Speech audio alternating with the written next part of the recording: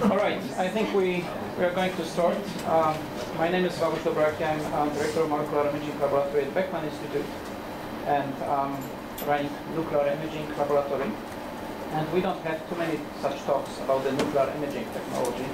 And today um, we have a special guest, which is the um, Yubin Miao.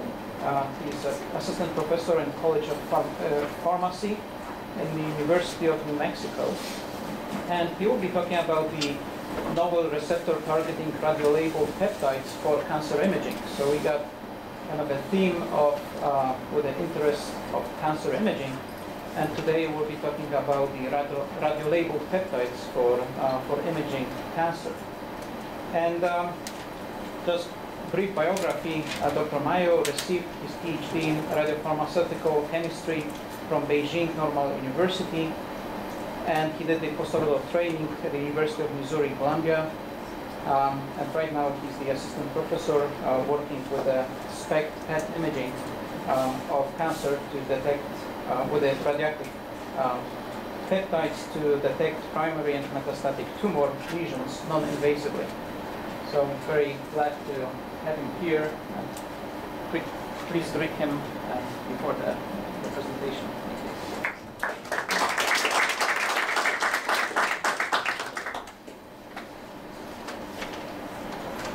Thank you so much for your kind introduction. Uh, it's my great pleasure to be here and share with you our work on novel receptor targeting, uh, radiolabeled peptides for cancer imaging.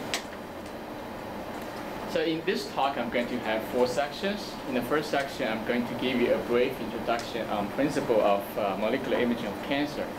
Then I'm going to give you two sets of examples, but basically, one set example will be uh, targeting the GnRH receptor for breast cancer imaging, then give you two generations of the peptides targeting the MC1R for melanoma imaging. So let me start with the principle of molecular imaging of cancer. So as we know, to perform molecular imaging, you need to have three components, namely molecular target, imaging probe, and imaging modality here.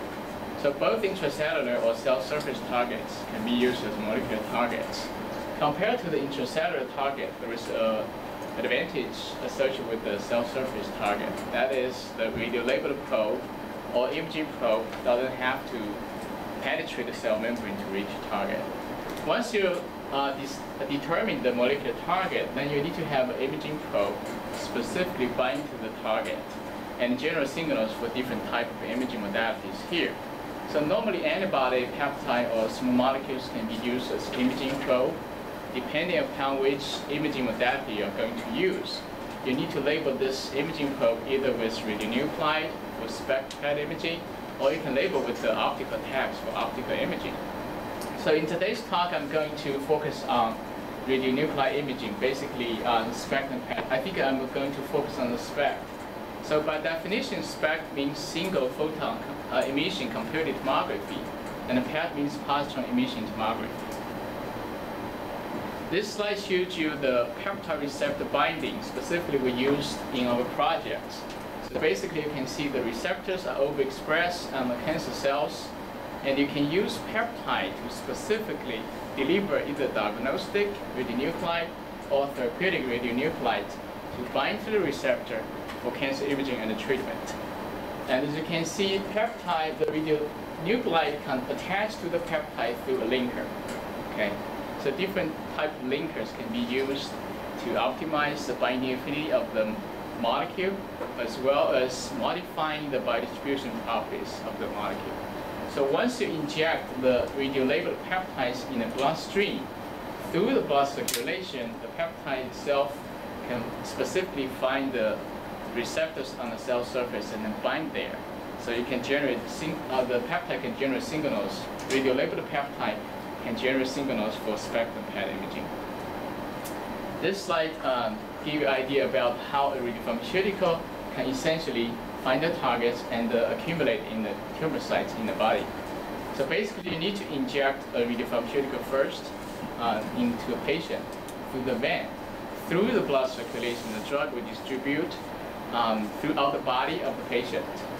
And as time goes on, the drug clears from the non-tumor tissue rapidly because there's no target available for the radiopharmaceutical to bind. And eventually the radiopharmaceutical remaining in the body is retained in the tumor site because uh, the peptide will find the receptor and bind there. This slide um, give you an idea about the uh, clinical imaging process.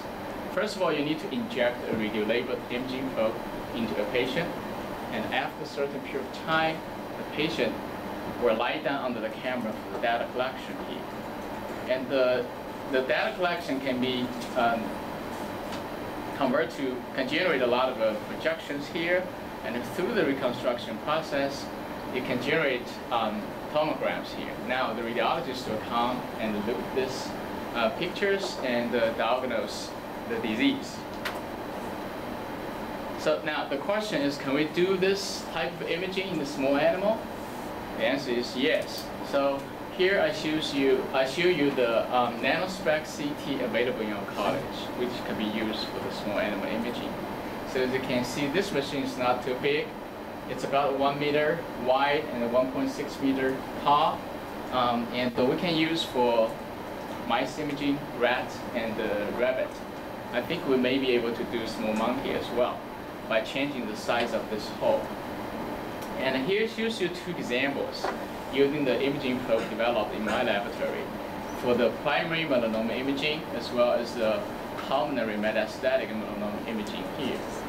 So as you can see, to generate such specific cancer imaging images, you need to have a receptor targeting or cancer-specific imaging probes. We also have a, a lab PET, small animal imaging PET, we can use for PET imaging. Here gives you example by using F18FDG into um, a small mouse to detect the pulmonary metastatic melanoma lesion here. So you can easily, uh, through the CT image, you can see the spot here, and this is a necropsy picture of the lung. And essentially, the F18FDG can detect this spot as a lung mass here. But despite the success of F18FDG, you can see F18FDG can generate a very high background here. The reason for that is F18FDG is not a cancer-specific imaging agent. Okay, the elevated uptake of F18FDG in cancer cells is because cancer cells normally have higher uh, energy consumption compared to normal cells. Okay. So now, uh, let me give you a couple examples about how to targeting the uh, gonadotropin releasing hormone GnRH receptor for breast cancer imaging. First of all, I'd like to give you a brief introduction of breast cancer. Um, and the, the breast cancer is the most commonly diagnosed cancer in females. And the second is second leading cause of cancer-related death among women in the United States. About 209,000 new cases were diagnosed and about 40,000 cases of death occurred in the United States in 2010. And normally we use mammography to detect um, breast cancer. And mammography is a very effective detection, detection tool for the primary um, breast cancer. However, it cannot detect the metastasis of the breast cancer. And F18FDG, as I briefly mentioned, is also a, a, most commonly used PET imaging agent for the cancer detection, including um, breast cancer. So basically, F18FDG can also use for the can be also used for some other um, cancer detections. And uh, and F18, like I mentioned, F18FDG is not a cancer-specific agent. So it has uh, uh, limited applications in detecting um, breast cancer metastasis um, because of a lack of uh, specificity. And uh, in this project, we're interested in to use GnRH receptors targets and to develop imaging agents. And because these GnRH receptors are overexpressed on the breast cancer cells, and as well as uh, overexpressed on the human breast cancer samples. And very importantly, the GnRH peptide uh, can bind to the GnRH receptors with nanomolar binding making it feasible to use peptide to specifically deliver um, imaging isotope for breast cancer imaging. So as you can see here, this is a native GnRH peptide sequence, and both uh, N terminals and C terminals are involved in the uh, GnRH receptor binding.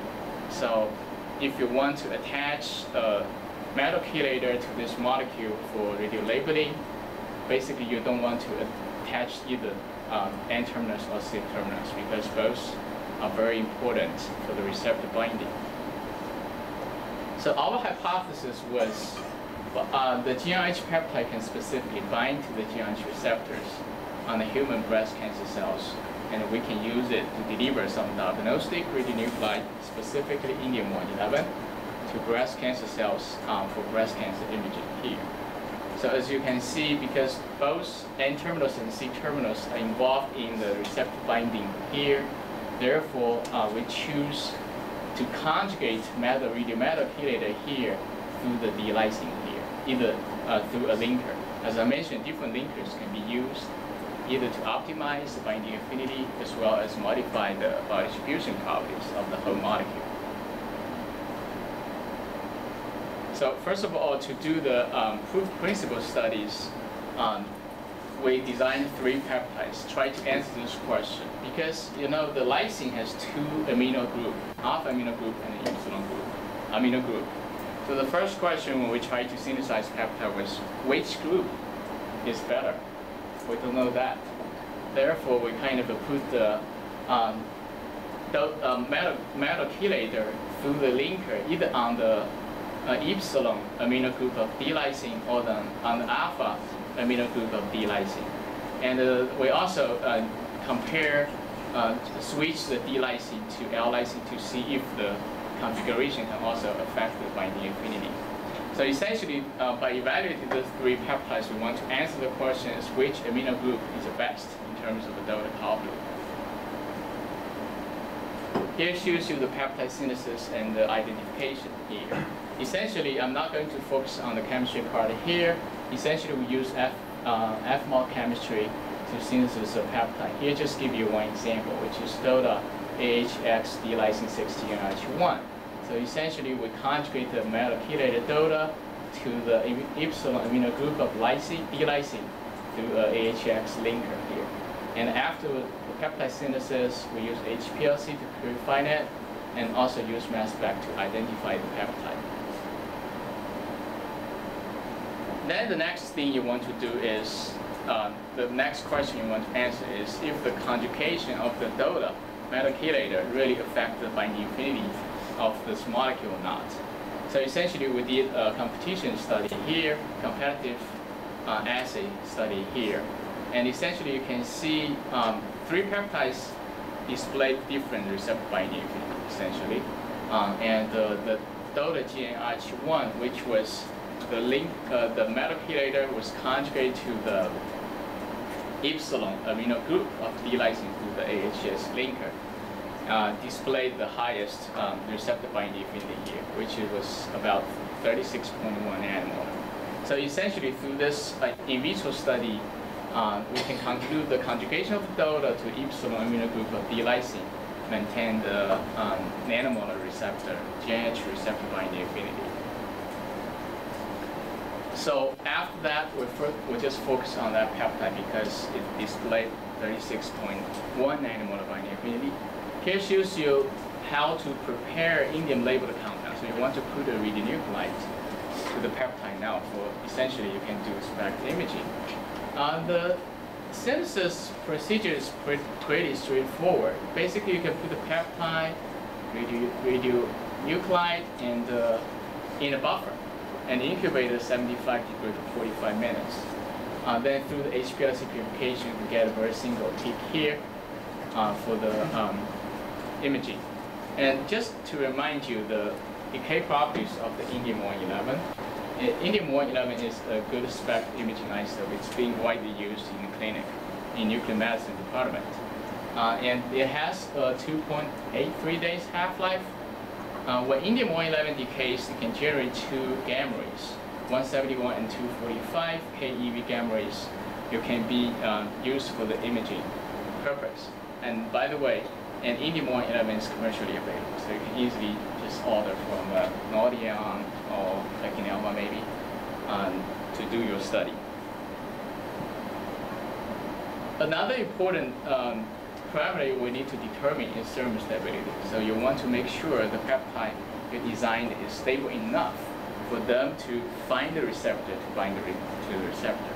So here shows you the stability of indium label DOTA AHX um, GNRH1 here.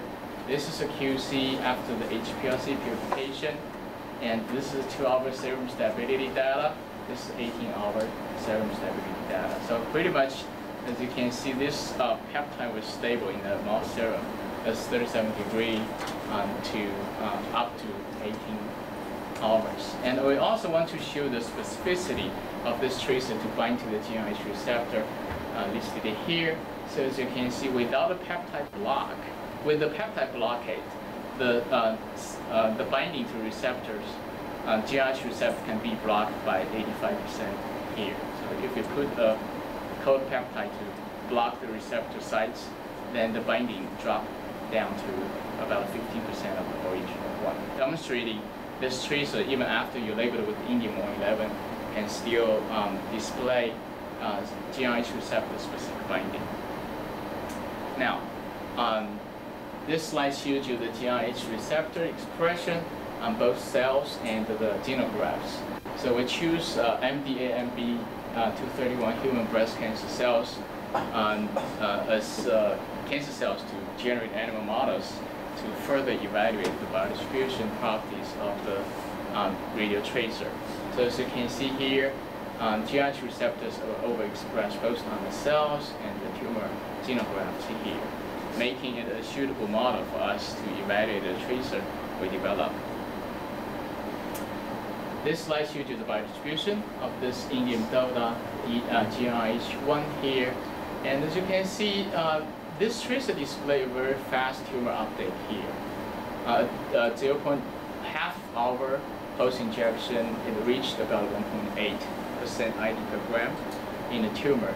And uh, um, so demonstrate possible we can use this one for the um, cancer imaging here. Then we further determine uh, the human uh, breast cancer imaging using the SPECT CT we have and use this uh, uh, probe to do the imaging studies. And as you can see here, we did this study with one over post-injection. Basically, the, you inject the tracer into the mouse through the tail vein, and uh, one over post-injection, you put the mouse on the uh, SPECT CT to collect all these images. So you can see the backbone of the mouse collected from the CT um, for, by CT. So provides you the anatomic information of the whole mouse. And then all this colorful information uh, is from the. Uh, can provide you the functional information of that tracer. So you can essentially you can see um, by using this tracer you can um, clearly you see the MDA-MB231 human breast cancer here. And also you can see the urinary uh, clearance here as well as some kind of liver uptake here. So this is a two organs we try now we're working on trying to decrease down the um, uptake either in the kidney and liver. So hopefully we can reach this conclusion. Um, the DOTA position display uh, important factor is an important factor on the binding affinity of the GnRH peptide. Um, so essentially the the coupling of DOTA to the epsilon amino group is essential to remain um, the nanomolar binding affinity of the GnRH peptide.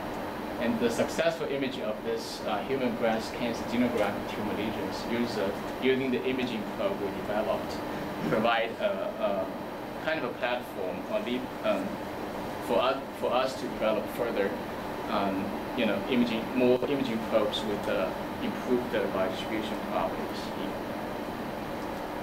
Now let's switch gear to another type of cancer, so, uh, which is melanoma. Um, in this um, type of cancer, we're using different receptors. So basically, I'm going to give you the second example by targeting G protein coupled receptors you can use for the cancer imaging. A brief introduction on melanoma. So melanoma is number six uh, commonly diagnosed cancer in the United States. And one out of the 75 Americans will eventually develop this disease during their lifetime.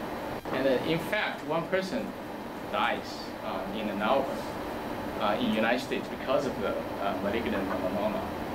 And about 68,000 new cases was diagnosed, and uh, about 8,700 cases of death occurred in the United States uh, in 2010. And we're very interested in to develop uh, imaging agent as well as therapeutic agent for this cancer because there's no curative um, treatment available for metastatic melanoma. And also melanoma specifically compared to other type of cancer is more resistant to the conventional chemotherapy agents. We've been using uh, melanocortin-1, MC1 receptors as targets uh, because this receptor overexpressed uh, on both human and mouse melanoma cells. And as you can see, it's a G protein coupled receptor with seven transmembrane domains here. And uh, very importantly, the alpha melanocyte stimulating hormone peptide and many of its analogs can bind to these receptors, uh, like shown here, as nanomolar or subnanomolar binding affinities. Therefore, uh, we were very interested in to use, um, interested in using the alpha MSH peptides to deliver imaging isotope and eventually deliver therapeutic isotope for melanoma treatment as well. Let's look at the Y-type alpha message peptide. So Y-type alpha message peptide is a peptide with 13 amino acids here, and the amino acids in pink a message sequence for receptor binding. So you have to keep this um, four amino acids there for MC1R binding, as well as in this same order. It's very important. And the NDP-MSH is a gold standard for in vitro uh, binding studies because this peptide has subnanomolar binding affinity with the MC1 receptors. Uh, and several groups have tried um, label this peptide, linear peptide, with radionuclides um, for melanoma targeting. And unfortunately, the, the success was limited because, uh, majorly because of the in vivo stability of linear peptide. So to one way to um, improve the stability, in vivo stability of the peptide is to cyclize the peptide. So this slides give you idea about different cyclizations have a different effect in terms of tumor uptake and kidney uptake here. And the, the two, uh, three peptides listed here, the first one is DOTA CCMSH. So you can see this peptide is a linear peptide. And second one is DOTA CMSH. The peptide was cyclized by the um, disulfide here. And essentially the third one is uh, metacyclized peptide. Now, if you look at the biodistribution data to our post-injection, you can see the linear peptide displayed um, moderate tumor uptake here, about 5.9% ID per gram, a two-hour post-injection. And the kidney uptake was high, about 63% ID per gram, a two-hour post-injection. Now, when you switch to the disulfide cyclized peptide, which is peptide 2, the tumor uptake was slightly higher, better than the first one, linear one. Very important, if you look at the kidney, you can see the kidney uptake dropped almost 50%, 40, 45% probably. And essentially the uh, rhenium cyclized peptide displayed the best, uh, uh, the highest tumor uptake. Here is about 17.3% ID per gram. And very importantly, you see the kidney uptake further drop to 8.7%. So this, this uh, two studies demonstrating you can use um, peptide cyclization to improve the tumor uptake and also affect the normal accumulation of the tracer to the normal organs. And also different um, cyclization strategy has different effect uh, in terms of the tumor uptake and the renal uptake here. So in my lab, uh, I'm very interested about using lactam bridge to cyclize the peptide. The reason for that is metal cyclization displayed very high uptake, but the synthesis is a little complicated. You need to put the metal in it after the peptide synthesis. Uh, alternatively, if you use lactam bridge cyclization, you can finish this cyclization easily during the peptide synthesis. Okay. So uh, specifically, the first generation, we're more focused on um, designing the peptide like this, more close to the structure of native peptide, alpha MSH peptide you can see we kept the um, MC1 binding sequence here, and the peptide was cyclized by a lysine asp um, lectin bridge here. And the DOTA is a good metal chelator, so we conjugate the DOTA to the peptide either through a linker or without a linker. So when you compare the biodistribution of these two molecules, you can see the effect of the linker on tumor update and also um, normal organ updates. And the third one we were interested in um, if the DOTA position can really affect the binding affinity or tumor uptake or renal uptake as well. So we, would conjugate the DOTA here instead of uh, um, this side. And then also you can use this, you can label this peptide with indium map. Okay. Now to evaluate the exact biodistribution properties of the radio tracer, we specifically established two models. This is one of the model, E16F1 melanoma mouse model. Essentially, this model was designed to mimic the primary melanoma, uh, melanoma development. So what we did was we inject uh, emitting B16F1 cells subcutaneously in the right flank of the mouse.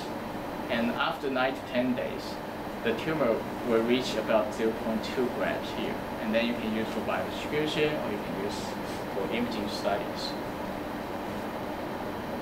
Okay, um, now here shows you the biodistribution of melanoma imaging with this indium DOTA glycolipid CYCMSH as you can see, this peptide has very high tumor uptake.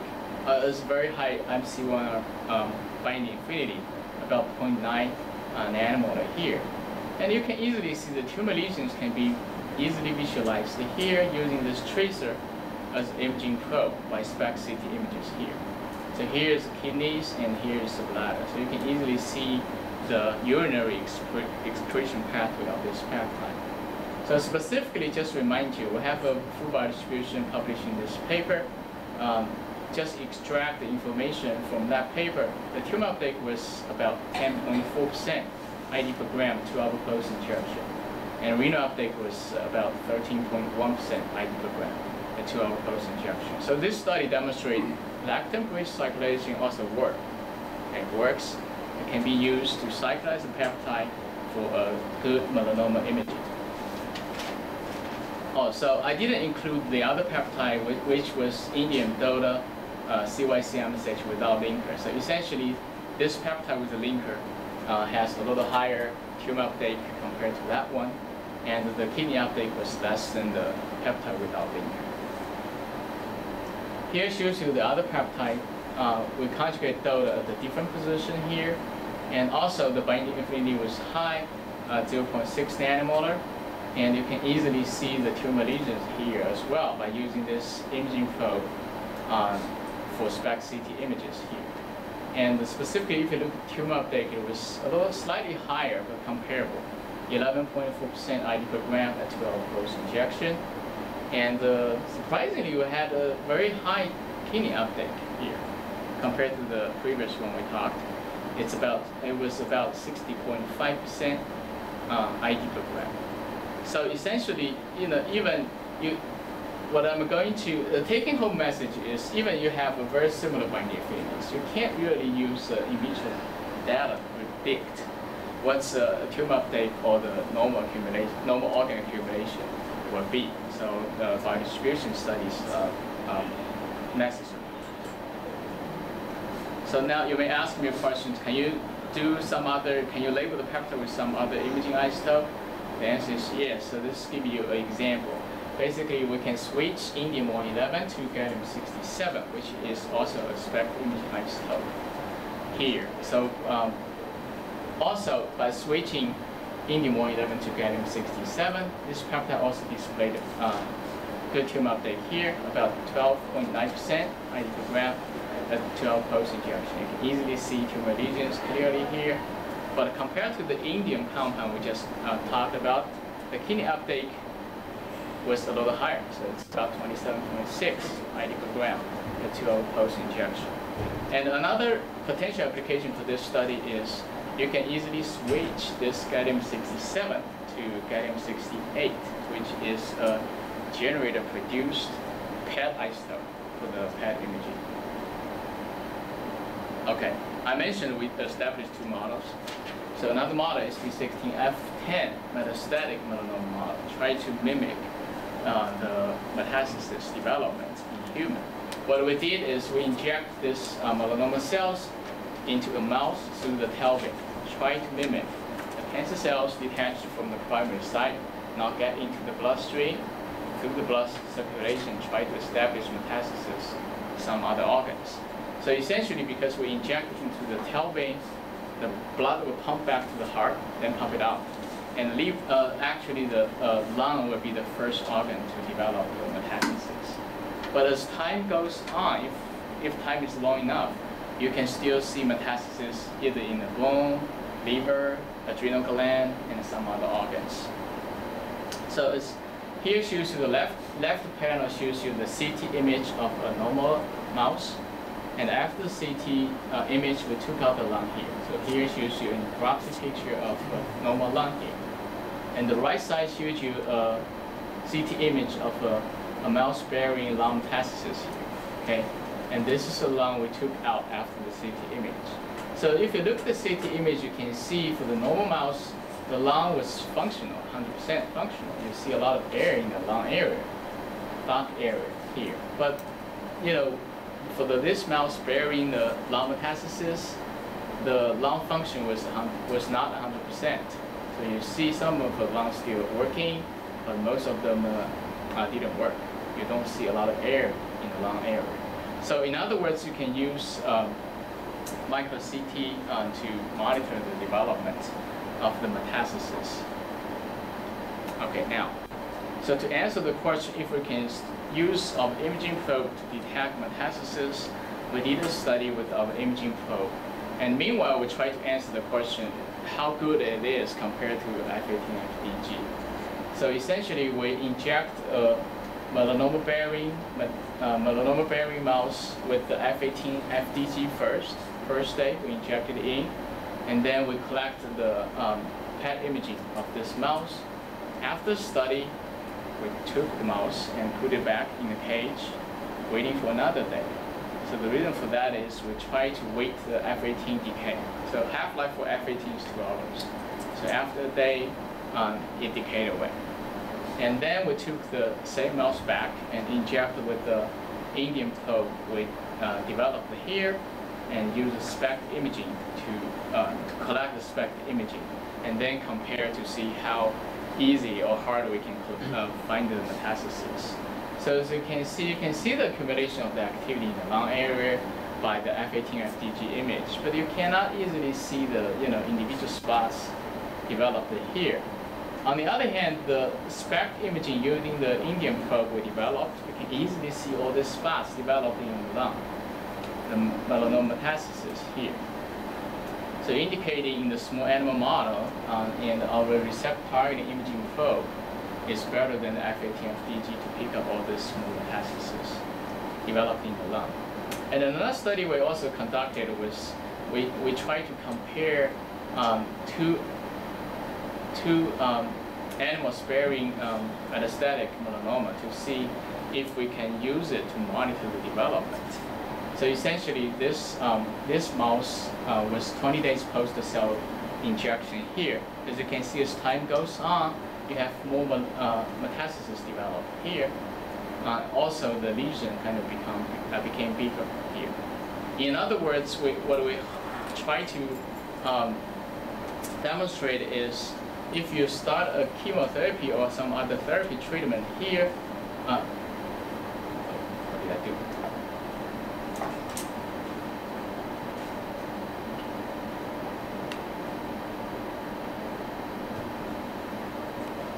Sorry about that.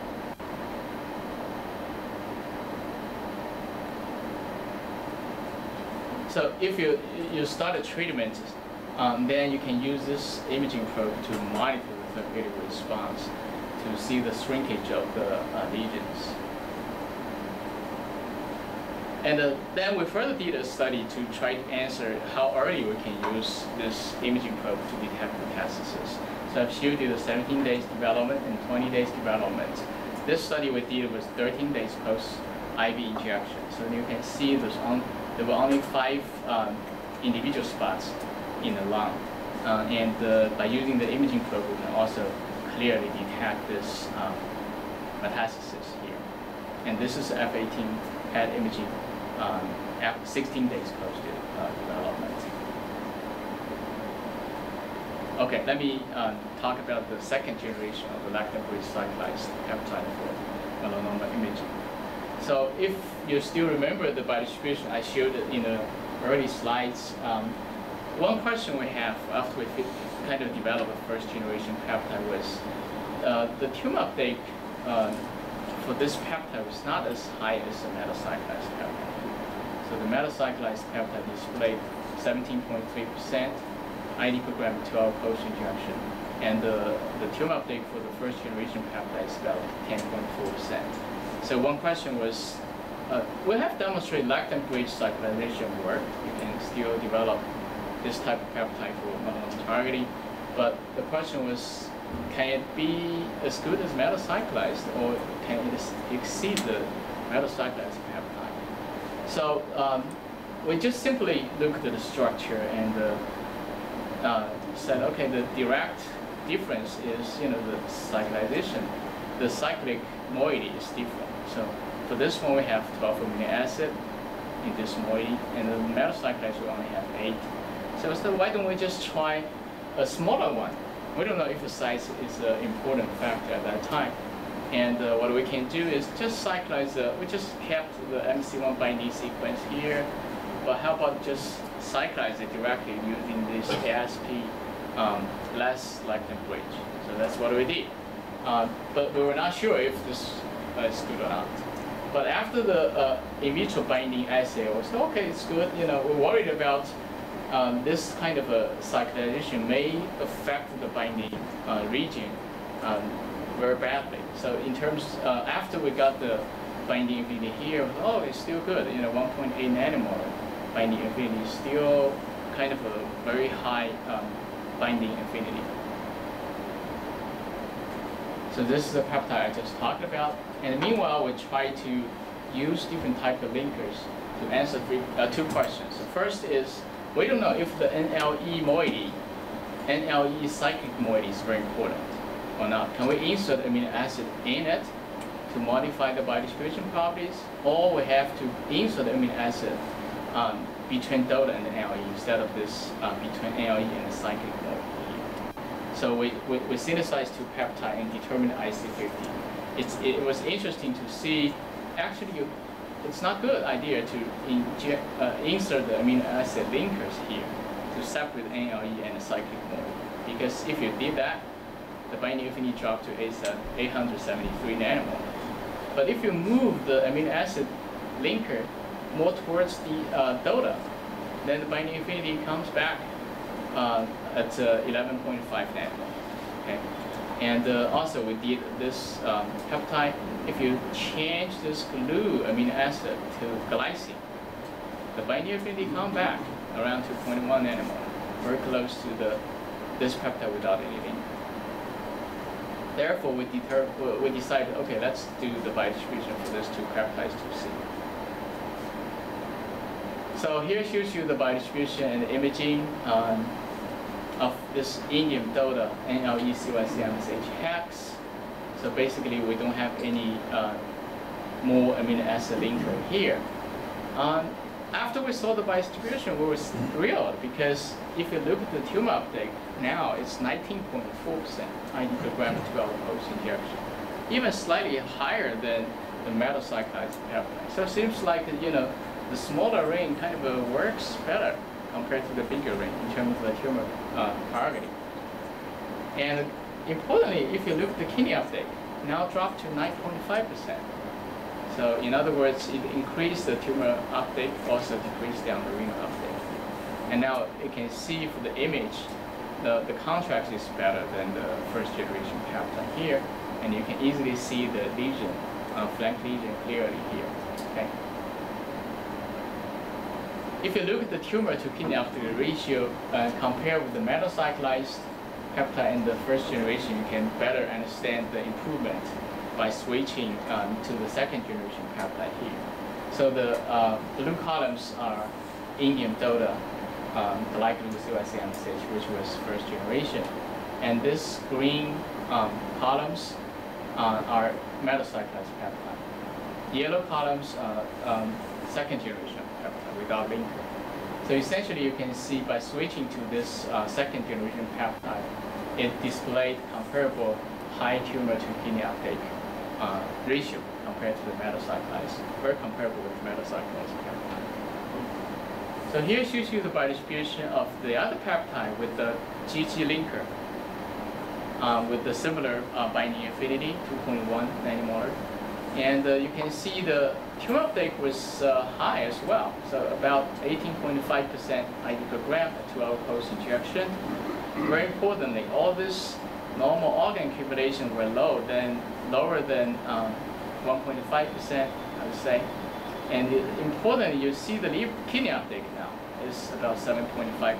So even um, further lower than the peptide with, without the glycolide linker. And you can easily see the melanoma lesions clearly with all these individual spots here. A lot of more information. So this slide shows you the comparison in kidney and liver uptake between the peptide with GG linker or without GG linker. So basically the um, blue curves uh, are indium peptide with the GG linker in it.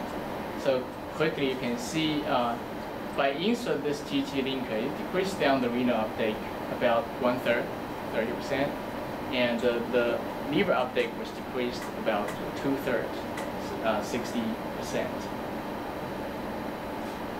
Now, if you look the uh, tumor to kidney ratio, tumor to liver uptake ratio, it's another way to really see the improvement. So by insert a gly-gly linker, you kind of increase the tumor to kidney uptake ratio as well as tumor to liver uptake ratio here. Um, so this is very important because one of the directions we want to uh, work with this peptide is try to use the peptide to do the treatment. So you can easily switch diagnostic radionuclide to therapeutic radionuclide. For the therapeutic perspective, then the ratio is um, important. You want to deliver the maximum dose to the tumor and uh, the minimum dose to the normal organs, right? So uh, the improvement in tumor to kidney ratio, tumor to liver ratio were significant. So in conclusion, um, so we have developed two generations of the MC1 receptor targeting peptides. Both primary and metastatic lesions could be visualized by the first generation peptide uh, and uh, I didn't show you the peptide distribution of the peptide without linker, but basically the increasing the overall negative charge of the peptide could significantly reduce the renal uptake of the peptide without affecting the tumor uptake. And we found the reduction of the peptide size essentially uh, contribute to the tumor uptake, increase the melanoma uptake of the second generation peptide, also decrease down the renal uptake. amino acid linkers exhibited profound effects. So if you look at the, the peptide with the glycolide link or without glycolide link, you can easily see by insert the uh, amino acid link, you can further decrease down the renal uptake as well as the liver uptakes. So I'd like to thank the postdocs and graduate students working in my lab and the, the collaborators um, in our cancer center and the financial support to this project. Um, and uh, I'd like to thank you for your attention. I'd be happy to answer any questions.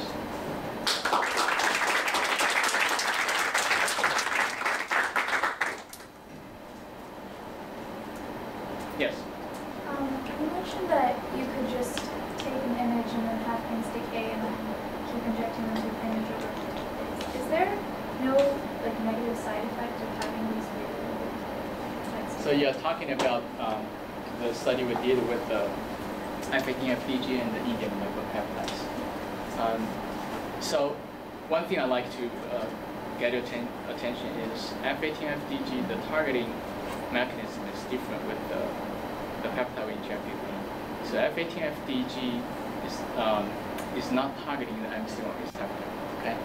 So basically the elevated uptake is because cancer cells has um, higher antigen eruption compared to the normal cells. So the targeting different things. And the, uh, the peptide we developed there is targeting the MC1R. So I assume there's no cross um, effects between these two agents. So another thing is if you want to do the dynamic image over days, you can select uh, uh, you know the imaging nu nuclide diagnostic nuclide with longer half-life. So you, you can, for example, if even this indium peptide, you should be able to do it. Half-life is about three days. So I'm sure you can do you know 24 hours post injection. Same mouse, if you inject this probe, did a one hour 12 uh, image, and then you can put it back, and then come, come maybe 24, 24 hours later to do another image. The only downside is if the peptide is too too quickly clear the body, then you will lose activity. Okay? Or you can inject a little more to make it you know, last longer. Yes. Focusing a lot on like minimizing the kidney uptake so that the signal will be lower there. I- It's never gotten to the point where is the signal low enough that if like any of the tumor metastasize like to around the kidney or near the kidney, can you distinguish like tumor just from like kidney signal? That's a good question. Actually, in this case, because the peptide size, so the excretion pathway is through the urinary system to the kidney. The kidney uptake was not receptor mediated. So we have done a blocking study to show you can block the tumor uptake, but you cannot block the renal uptake. So it's not specific. So in terms if you have some metastasis in the kidney, in this case, I don't think we can use this agent to differentiate that because the high, um, know, very um, kind of a high uptake in the kidney. The reason we want to reduce down the kidney uptake is more focused on the therapeutic perspective. So in case, in this case, if you switch to therapeutic radionuclide, you want to deliver maximum dose to the tumor, or less dose to the kidneys to avoid toxicity to kidneys. Yeah. So just to follow up, the kidney uptake you say is not specific, but it retains in the kidney longer than the tumor. So is the chelate regimen down? And becomes irreversibly down or what is that? There are several factors affect the kidney. First of all, it's not MC1 receptor mediated, and the charge has been a major factor um, to the kidney uptake. So, for, for example, in this case, if we inject some positive charged amino acid, like lysine or arginine, you can block the renal uptake up to 75% on the basis. And also, recently, some of the um, paper published talk about some of the uh, also receptor kind of with the broad um, spectrum, kind of a, so we, we, we didn't know exactly how this MC1, this peptide kind of interacts. You think it may be some receptor mediated process, but not the, the- Not the MC1R receptor mediated process, yes. Charge is a major factor. So normally we use charge to, uh, we use positive charge amino acid to block. You can uh, successfully block up to 70% of the so uptake. when when you've got lower kidney uptake, you you to see regional differences in the kidney activity. Does that correspond to the structure? So actually, most of the activity in the kidney are on the cortex area, not inside. So I think for that it's just uh, maybe charge interactions. So the positive charge for the uh, peptide side can interact with the uh, negative charge of the kidney cells on that area. Yes. The, the structure of uh, your bridge or non-bridge, is it affect the, the stability of enucleate? No. No, No. they're very stable. Yeah, so what happens is for the linear peptide, like an NDP peptide, you can label with the DOTA. You put the DOTA there and label with indium 0.11. And what happens is enzyme can kind of find the um, amino acid and chop it up. So the peptide itself don't have enough time to So deliver. that's why you have the D types. Yes, you can, another way, I didn't mention, you know, cyclization is one way, but you can switch from natural amino acid to D amino acid can also help in, increase uh, in vivo instability. Because be, when you switch from L configuration to D configuration, enzyme has hard time to really recognize that and chop the type. Yes. Yes, I would like to go back to the um, study where you um, compared the CAT and SPECT image um, of the pulmonary metastasis. And, um, and you suggested that the speck, those speckles on the SPECT, they are the metastatic cells, right? Um, so you try to do the radiography just to make sure that it's really what you're observing? Because you know, from my perspective, from my experience, the SPECT image very often when you're doing reconstruction um, those speckles, Yeah. uh, which are nothing uh, real. They are just some artifacts. We- did that studies. So we use autoradiography as well as we take the lung out, put on a piece of paper, lie out, and did a spectral imaging of that as well. So we include that image in the, on the paper published. Identify all these spots you can easily see. We did that as well.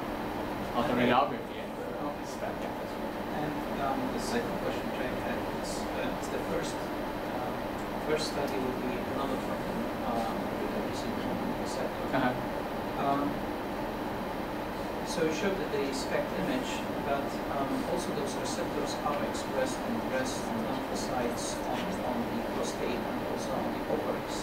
And I couldn't see those actually organs light up. Um, so could you comment on that? You're right. So this GRH receptor not only just overexpress in the um, breast cancer cells, also prostate cancer. the, mice we use, first of all, we use the female mice. Okay, so it, it, ovaries. yes, you're right.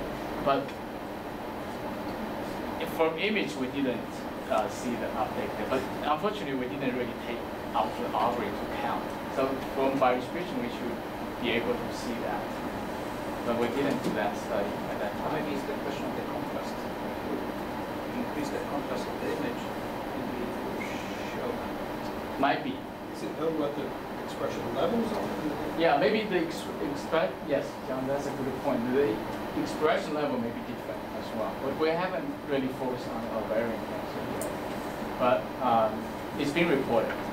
Uh, I think the one of the cell lines people has used for the is OVA3 we can use for this GMH receptor. They reported the expression, but the level I don't have the detailed data about you know, compared to the density in that cancer cells or cancer cells. Yeah. More. Uh, when you switch the from indium to gallium, the once you decrease the kidney uptake, Increase. increase the so it's not issue in the chelate therapy because Indium and Gallium. Uh, No, normally when we switch isotopes, sometimes you don't see any difference in terms of renal uptake or ki- kidney uptake. But sometimes you do see either either in the tumor uptake or the kidney uptake. We don't know exactly the reason. The co- uh, coordination chemistry is a little different though, may contribute to this. So because the in copper the copper chelation of DOTA or NOTA, the stability is pretty good in the base based on pH and the serum stability. But is any study for Indium and not for this one. So DOTA is a very good chelator for indium and uh, gallium. Very good chelator. In terms of copper 64 mentioned, specifically DOTA is not an optimal chelator for copper 64. The reason for that is once it's get in the bloodstream, um, and some of the enzyme will compete of the copper 64. So that's why I don't know if uh, if been to my first talk, we talked about the copper 64 um, with DOTA and with NOTA. And you can see some of the very high normal organ accumulations there. That's because the, some of the enzyme coordinated with the copper 64. But when you switch to NOTA, it's very stable. That case is very stable. And then easily through the biodistribution comparison, you can see there's no, um, you know, the normal organ accumulation very, very low, less than 1% microgram in our case. But for for the indium and the gallium, then DOTA has been a very good carrier for both